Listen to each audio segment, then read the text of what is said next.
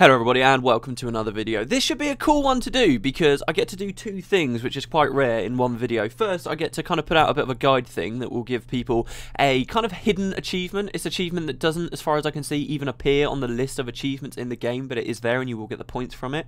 And I can also talk a lot about lore which is something I also like to do so this, this should be really cool. So yeah basically there's a, an achievement that you can get in Ebonhawke and it's a pretty cool one. If you've been there you've probably already seen that there's a lot of books lying around called called uh, The Founding of Ebonhawke, and there, there's certain volumes. There are actually 20 of these books. And the achievement is to find all of them, and I don't think you have to read all of them, you just have to find all of them. And then you get an achievement called Well Read. So the footage on this video is, guess what, me going to every single volume in order. Um, it actually might not be efficient to do this in order because it keeps making you yo-yo across the city, uh, but these are the locations of all the books. If you want to be super efficient, there might be a map out there somewhere that lets you just go from dot to dot and kind of sweep the city from left to right. But in any case, uh, it's really cool. And actually, these books tell the story, as you might guess, of how Ebonhawke came to be. And in particular, it talks a lot about a lot of characters we knew in Guild Wars 1. And it's got some really cool stuff in there. So uh, the footage is me running from place to place. Uh, I'm going to play the actual story itself, which I've read out for you guys. Thank me later. And then we'll probably have about a five minute slot at the end where I can talk about some of the stuff I really liked about it. Uh, but I don't know how much time I'll get, so we'll see how that goes. But anyway, uh, I'm going to cut to me reading you the story. enjoy. Uh, mute me if you don't want to actually hear the story, you just want to see the locations. And uh, I'll catch up with you guys on the other side. See you in a bit. The Rise of Ebonhawke, Volume 1 The Recall. A messenger from Ascalon arrived today, bringing the first word from home since the Vanguard were tasked with slowing the Charr offensive years ago. The Vanguard's deeds reached the ears of the king. The forces have been recalled. There's a quiet relief that can be felt throughout the unit. Their long, hard fought struggle is coming to an end. Away from the troops, Captain Gwen Thackeray seems concerned, an unspoken question on her lips. Though Ascalon is telling them to return, is their mission really complete with Charr still nearby? The troops leave a skeleton force to protect the Eye of the North as they set out in the black of night on their own return journey. The captain won't let the Charr know we've all but abandoned the North. Volume 2 Return to Ascalon. The fanfare upon returning to the ruined city of Ascalon was indescribable. The Vanguard has accomplished something the troops here in Ascalon have only dreamed of victory against the Charr in their own lands.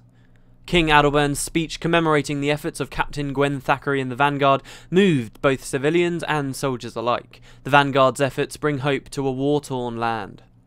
A week has passed since the return of the Vanguard to Ascalon, and still the hero worship continues. Children run through the streets playing Ebon Vanguard and Charr. Volume 3 The New Assignment. King Adalbern has called the city together to make an announcement. The Vanguard are ordered to appear in full dress uniform. Uncertainty ripples throughout the unit, but this does not diminish their pride. The Vanguard is being sent south to the mouth of the Crystal Desert, where a dire threat is rising. They're charged with building fortifications to protect against an enemy the king warns is coming. Captain Thackeray gracefully accepts the duty placed before her and the vanguard. Civilians look confused and worried. This new threat was not expected. Volume 4 A Question of Motive.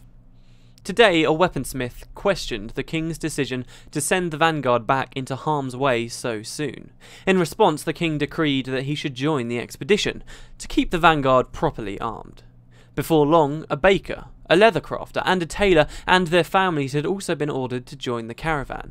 Is this a sign of support from the king, or an act to remove opposition from his sight? It's a question I dare not voice. Regardless, the Ebon Vanguard prepares to leave home once more, doing so without much complaint and with their usual efficiency. Volume 5 Unexpected Joiners. The day the Vanguard left Ascalon, that second time, was sad but proud. Civilians lined the streets to honour these heroes from the north. At the city gates, dozens of civilians from various trades met the unit to unexpectedly join them on their journey. Additional supplies were packed to accommodate them. So many people willing to leave with the Vanguard and abandon all they'd ever known. Was it pride for the unit that spurred them on, or was it fear of their king? Volume 6 The Journey Begins. Days turned to weeks as the Vanguard marched south. Expected travel time to the destination had increased with the addition of the tradesmen and civilians, but no complaints were ever raised. I suspect that the Ebon Vanguard soldiers are happy to have actual professional chefs to prepare their meals and armor smiths to keep their equipment in working order. Volume 7 A Suspicious Discovery. Rigo Bolan of Lieutenant Kieran Thackeray's Ebon Falcon's scout unit discovered an animal that had been torn to shreds by claws or teeth this morning. Not taking any chances, the Vanguard is now on high alert. Civilians are told only that travelling in a new land can be dangerous and that they must be prepared for anything. They've been ordered to stay close to the caravan and not wander off by themselves. Several days have passed since we first discovered the shredded animal remains. Off in the distance, I can make out blurs that seem to be moving with us. Is something really out there? Or is this long trek making us paranoid? And more importantly, if something is out there, are we leading it or are we being led? I guess only time will tell. Volume 8 Return of the Enemy. At dawn, our greatest fears were realised. A warband of Charr ambushed us from the brush. The vanguard always believed their battle would be against the Charr, just not this far south.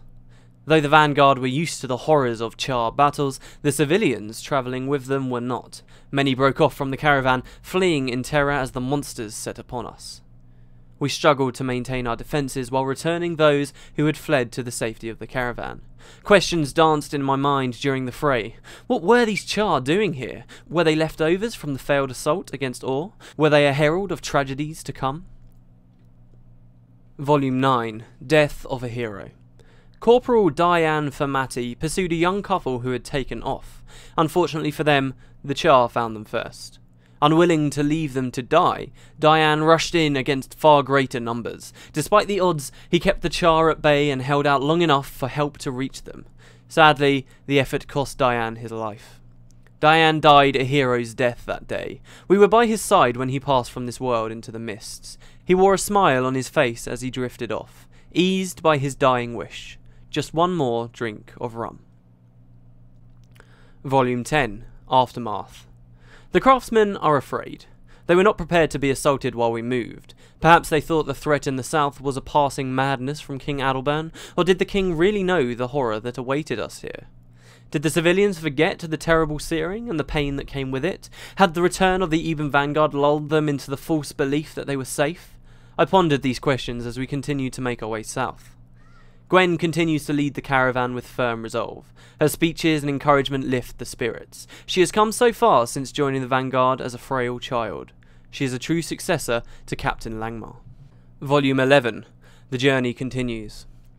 It's been more than a week since we first ran into the Charr. Their attacks continue, but at random intervals.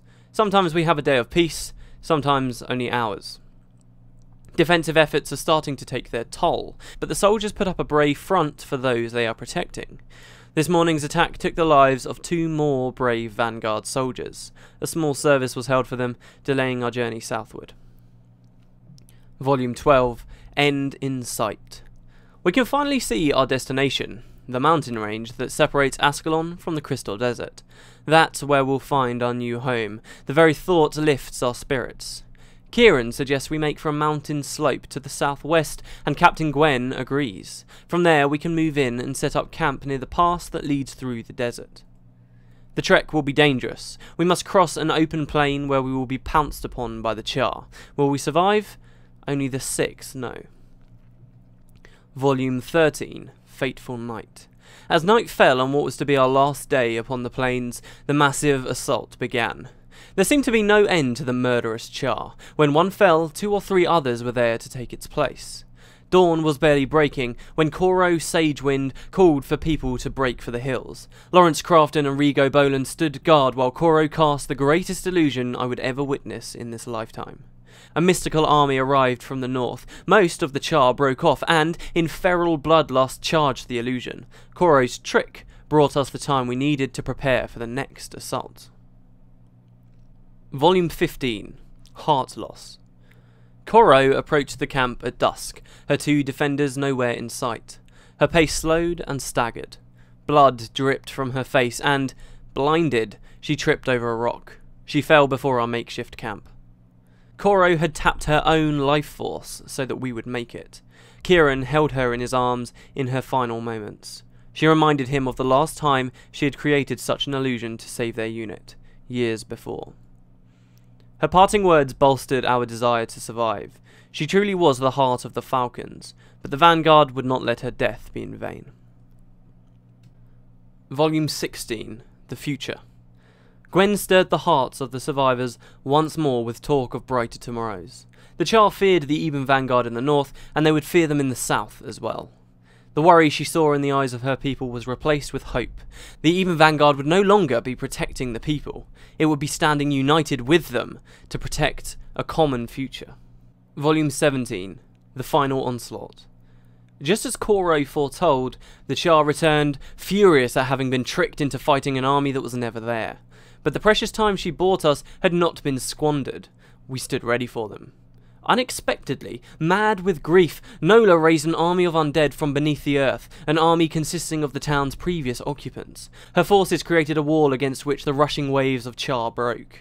Ignoring Kieran's order to fall back, she marched beyond our front lines. The lieutenant vaulted the barricade, attempting to reach her before the Charr could. To everyone's surprise, he hit her with his fist and knocked her out. Then he picked her up and rushed her unconscious form back behind our defensive position. Volume 18 Survival.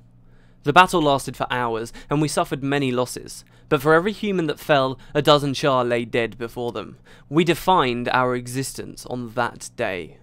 With the battle finally over, we accounted for the dead. The baker and her son, who'd taken up arms along the front lines, were among those who did not live to see daybreak. The Charr have pulled back for now. We can still see them on the horizon, pacing and waiting. Captain Gwen has drawn the line, and we're not moving from this spot. But unlike before, we'll be ready for them, and we'll make them pay.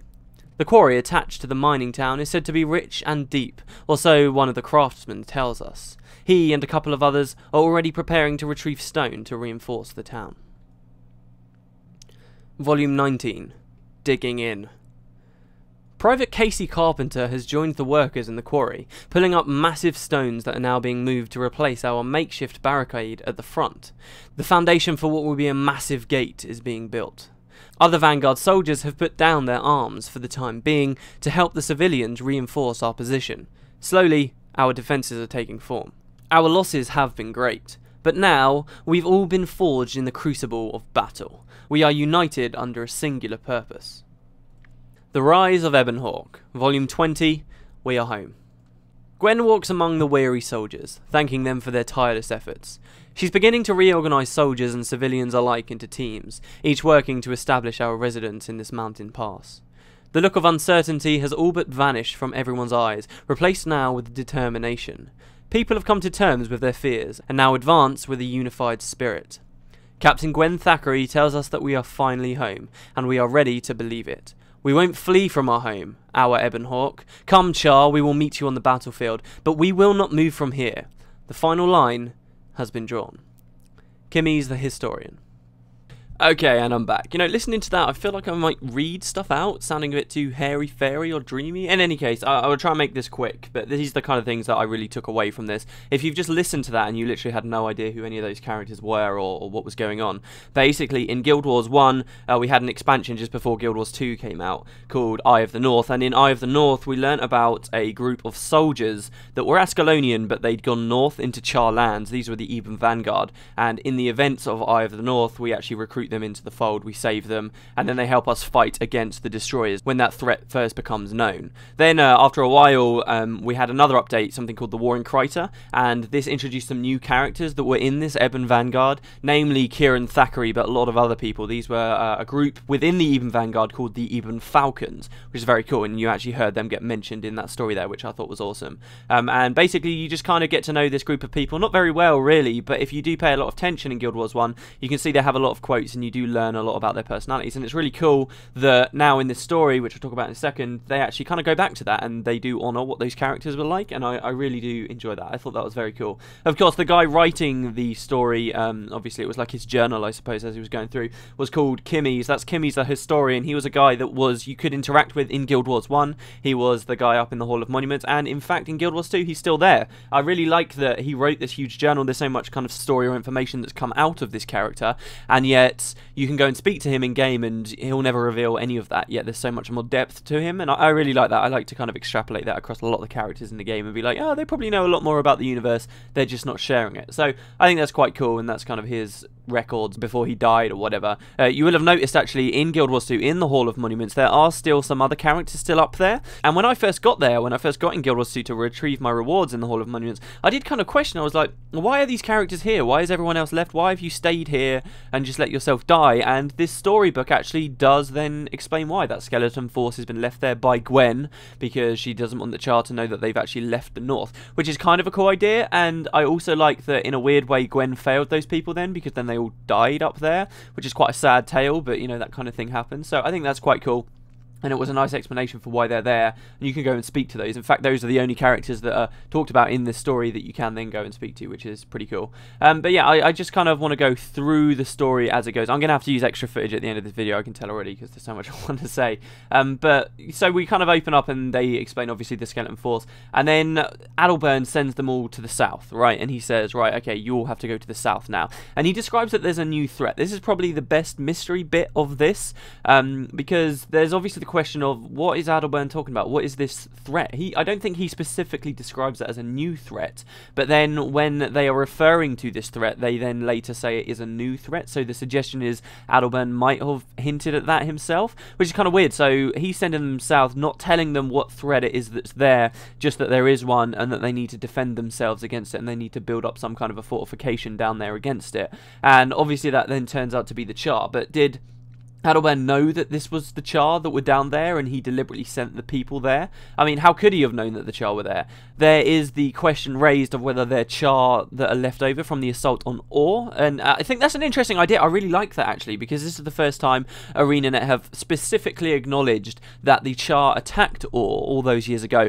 Wait, wait, wait, wait, wait. I'm going to cut myself off there, guys. Thank you very much for watching. If you only wanted the guide, then just uh, use this. There's all the footage for you. I'll be putting up another video with my thoughts because guess what? I ended up speaking for about half an hour, so that'll be in a different video. Thank you very much for watching. Enjoy your achievement. It didn't ding there on the footage, obviously, because uh, I already had it. It's called Well Read. I'm pretty sure, as I say, it doesn't actually appear in the achievements list, so it's a bit of an unlisted, a bit of a secret achievement, a real secret achievement. So anyway, there you go, guys, and I will see you uh, next time. Uh, hopefully for the next video, if you want to discuss the book with me, I'll see you next.